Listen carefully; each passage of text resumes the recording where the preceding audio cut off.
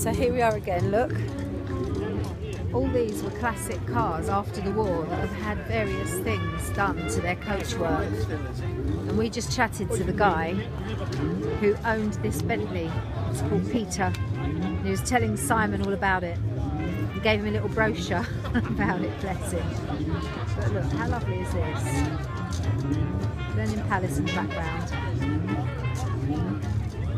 classic motorbikes in there. We just had our lobster lunch, which was nice, in the tent. There's even a boat over the back there.